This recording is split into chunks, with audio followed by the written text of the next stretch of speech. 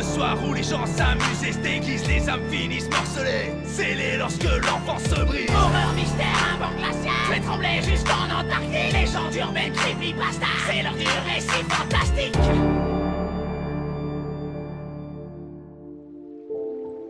Elle s'appelle Victoria. Elle est la plus jolie des jeunes femmes qui existent en ce monde. Elle est gentille, drôle, intelligente, très belle. Et j'en étais éperdument amoureux. Je l'avais connue par hasard lorsque j'étais en balade autour d'un lac. J'aimais me promener autour de ce lac. Étant créateur de vidéos sur YouTube, cette balade quotidienne me permettait de penser à mes textes, des pasta. Je ne sais pas si vous savez ce que ça veut dire. Ce sont des textes souvent horrifiques, fictifs ou alors basés sur des histoires réelles, mais en ajoutant des éléments inventés. Il faut que celui qui lise ou écoute ces histoires se pose des questions et se demande si ce que raconte l'auteur est vrai ou non. Bon, à la base, c'était ça une creepypasta, mais ça a bien évolué depuis quelque temps, c'est dommage. Bref, je ne suis pas ici pour parler de ça, non. Donc, j'adorais ces balades. Déjà parce qu'il n'y avait quasiment personne qui fréquentait ce lac, qui, il faut le dire, est quand même bien caché, derrière une grande forêt. Il n'y a que des vieux pêcheurs et quelques jeunes couples qui faisaient leurs petites affaires cachées au milieu des petits arbustes qui ornent la forêt. J'aimais ce lac pour son calme, son ambiance et sa légende. D'après les vieux du village, il y aurait une créature magique dans ce lac. Personne ne sait à quoi ressemble cette créature. En revanche, ce qu'ils savent, c'est qu'elle attire les hommes dans le lac. Quand ceux-ci tombent, ils meurent noyés bien sûr, mais d'après les rumeurs, le visage des pauvres hommes avait vieilli d'une cinquantaine d'années. Bien sûr, ce n'était qu'une légende. Depuis que j'habitais dans ce village, je n'avais connu personne qui soit mort dans ce lac. Les morts remonteraient il y a de ça plusieurs années, bien avant ma naissance. Mais cette légende était bien présente, et c'était en quelque sorte le croque-mitaine pour les enfants, le monstre du placard. Les parents s'en servaient pour calmer leurs enfants turbulents, en leur disant Si tu ne te calmes pas, j'appelle la dame du lac. Ou alors Calme-toi, la dame du lac vient te manger ce genre de choses. Je trouve ça bien que des villages ont des légendes pareilles. Ce lac m'inspirait, j'aimais m'y balader. Lors d'une de mes balades, j'ai croisé une jeune femme. Elle était assise sur un banc, elle était magnifique. Alors que je m'étais approché d'elle, j'ai vu qu'elle était en train de pleurer. Je me suis approché d'elle, avec l'intention de lui proposer un mouchoir, et de lui demander si elle avait besoin d'aide. Je n'ai pas les mots pour décrire sa beauté. Je n'avais jamais vu une femme aussi belle. Ce que je peux vous dire pour me rapprocher au plus de sa beauté, vous allez rire, mais ce sont les elfes du Seigneur des Anneaux. Déjà par leur beauté, mais surtout pour l'aura que les elfes dégagent dans le film et les livres de Tolkien. Cette jeune femme dégageait une aura similaire. Elle avait l'air triste, mais d'une tristesse étonnamment plus profonde qu'un humain pouvait éprouver. J'avais l'impression, en la regardant, qu'elle sentait toutes les souffrances du monde. Alors que j'étais à quelques mètres du banc où elle était assise, elle a levé sa tête et m'a regardé dans les yeux. J'ai immédiatement eu un coup de foudre. C'était la femme de ma vie. C'est ce que je m'étais dit. Ses grands yeux marrons étaient magnifiques. Encore une fois, des yeux aussi beaux que je n'en avais jamais vus. Je ne vais pas mentir en disant que j'ai eu de nombreuses petites amies, mais aucune n'avait ce regard qui semblait me percer et sonder mon âme. Je me suis senti rougir, et j'avais l'impression que je n'avais pas le droit de lui adresser la parole, qu'elle était une sorte de divinité et que je devais juste me prosterner. Je ne l'ai bien sûr pas fait. J'ai tendu le paquet de mouchoirs en ne disant aucun mot.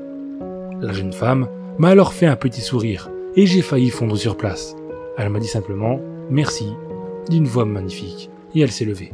Puis, elle est partie en direction de la forêt, d'un pas lent et gracieux. Moi, je ne pouvais plus bouger. Je la regardais partir dans la forêt et c'est tout ce que je pouvais faire. Je suis resté comme ça probablement plusieurs heures à regarder la forêt, même quand cette jeune femme n'était plus là. Quand j'ai enfin pu reprendre mes esprits, il faisait nuit. Je ne m'étais vraiment pas rendu compte du temps qui s'était passé. Pour moi, ça a duré quelques minutes, mais non. Je me suis alors levé et me suis dirigé vers la sortie du lac en pleine nuit.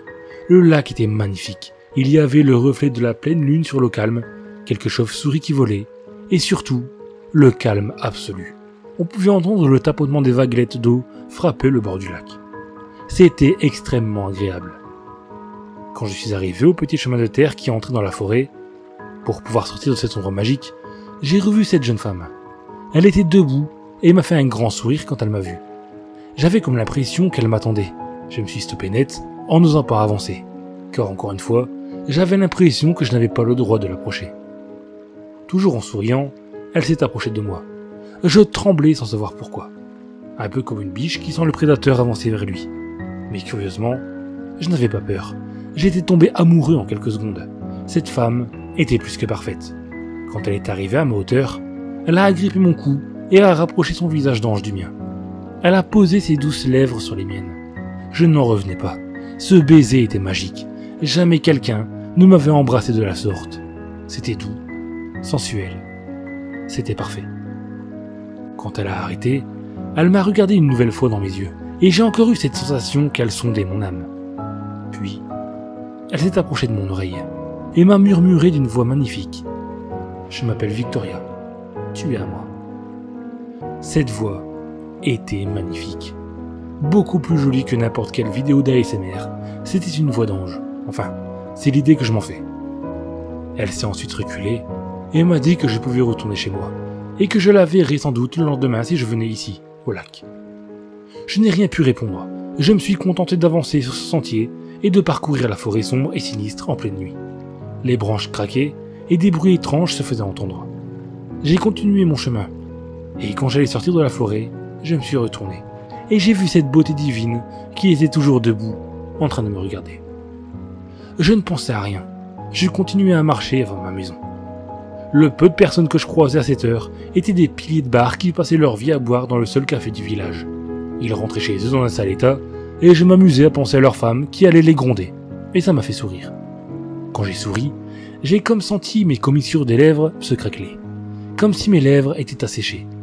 Je les ai touchées, et j'ai senti des rides que je n'avais pas avant. Mais je m'en fichais.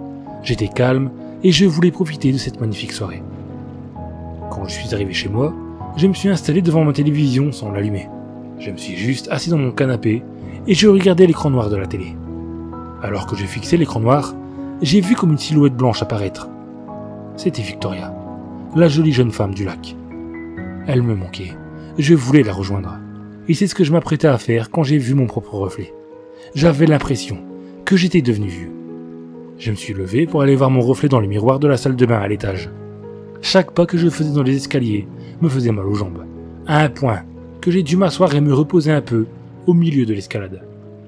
Quelques minutes après, j'ai repris mon chemin et je suis arrivé en boitant dans la salle de bain. J'ai ouvert difficilement la porte. Tourner la poignée m'a fait mal à la main. D'ailleurs, mes mains avaient changé. Elles étaient toutes ridées et semblaient très fragiles. J'ai avancé lentement vers mon miroir, mais c'était difficile. Je me suis regardé dans la glace, mais je commençais à avoir flou.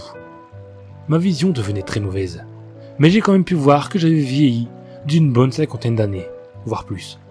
Mon visage était tout ridé.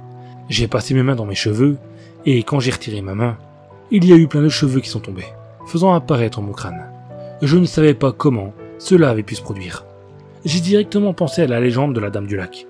Était-ce la belle Victoria? Était-elle le monstre dont tous les enfants avaient peur? Oui, j'en étais sûr. Ça a commencé quand elle a posé ses lèvres sur les miennes.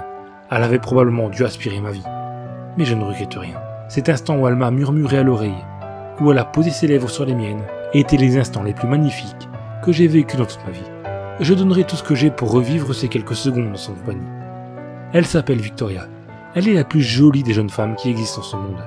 Elle est gentille, drôle, intelligente, très belle. Et j'en suis éperdument amoureux. Elle me manque terriblement. Je ressens comme un énorme vide sans elle. Je veux la revoir. Attendre demain me semble très long. Je sais que vous vous dites comment je sais qu'elle est drôle, etc. Alors que je l'ai vue peu de temps. Je le sais, c'est tout. C'est l'image que j'ai d'elle dans ma tête. Je profite de ces derniers instants de lucidité pour vous expliquer ce que je m'apprête à faire. Dès que j'ai fini de mettre cette vidéo sur ma chaîne, afin de faire connaître à un maximum de monde la légende de la Dame du Lac, Victoria, je vais sortir de cette maison et je vais me diriger vers le lac. Je sens qu'elle m'appelle. Je vois son visage partout. Je sais qu'elle veut que je sois avec elle. Je suis sûr qu'elle me prendra dans ses bras et m'embrassera. Je la vois déjà dans ma tête. Elle m'attend au milieu du lac, debout. Elle marche sur l'eau. Elle semble si légère. Elle est magnifique. Je l'aime. Ma Victoria.